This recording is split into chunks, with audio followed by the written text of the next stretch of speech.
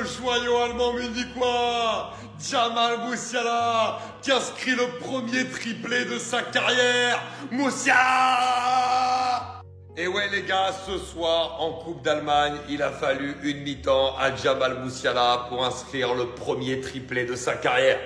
Ce qui récompense aussi un excellent début de saison dans la lignée de sa saison dernière et de son très bon euro également avec l'Allemagne.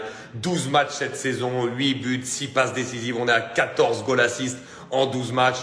Excellent début de saison de Jamal Moussiala. Et au-delà de ça, les gars, notamment sur le premier but, quel joueur de foot. Et on l'a vu parce que contre le Barça, il n'était pas titulaire quand il est rentré en jeu. C'est un joueur exceptionnel. Franchement, bon, on n'arrête pas de le dire, mais il continue de le prouver.